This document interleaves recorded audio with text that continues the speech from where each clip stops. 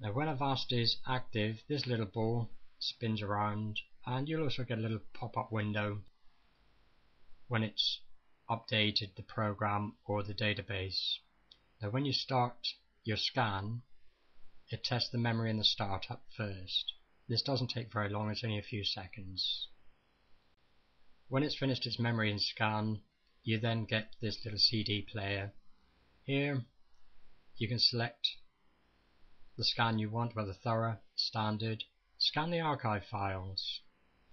You can also do a quick scan. For removable media, you have floppies and CD, or you can select a specific folder just by ticking it, which is nice and easy to use. In the virus chest, infected files, as you can see I have some infected files but they're not because these are actually the EICAR test file. User files there's nothing there, system files, these are protected which is why they're placed here. They're not viruses, they're placed here to be protected. And all chest files will show you all the files contained within the chest. Now the resident scanner, you can set to standard or high. That's your choice. Updates. Very simple and straightforward. Now the program's already up to date and it tells me so, so I can come out of that, but you can also update the virus database. On the configuration which we went through just now, you can start a scan, you can scan the local disks, the scan level, archive files, start scan. Settings we went through just now, select your skin, status information, tells you about the last updates. And the rest of it we've already more or less covered. When you want to start a scan, just click the play button. That's it. It's nice, simple and easy. Here you can see that you've got the pop-up a virus was found.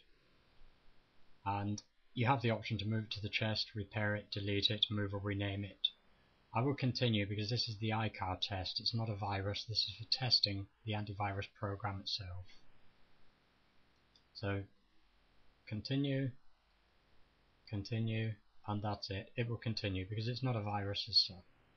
When your scan has finished, you'll get a pop-up window showing you what was scanned and what was found, like the EICAR file, uh, some points, like restore points, that it cannot scan, although some parts of the restore points it can scan.